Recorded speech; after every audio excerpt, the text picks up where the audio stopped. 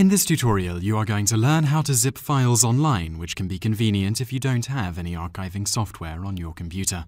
First, you are going to need to visit a website that will make this possible. Visit www.zipmenow.com and click on the Add Files button on the main page.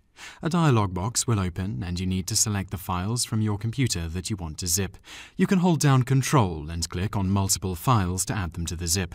When you have selected the files, click Open. You can repeat this process to add up to 100 files if you wish. You will need to wait for these files to upload. The time this takes will depend on the speed of your internet connection. When the upload has completed, click the blue Zip Me Now button. A file will start to download to your computer and you will see it is in the zip format. The files have been zipped up and are in this file. To make sure that this has worked, click on the small arrow next to the downloaded file and click Show in Folder. You will be taken to the folder where the file is stored, and as you can see here, when we double click on it, the two files are stored within the zip folder, and you have just learned how to zip files online.